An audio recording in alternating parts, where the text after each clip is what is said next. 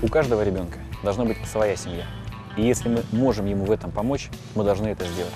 Я поддерживаю сердце километра.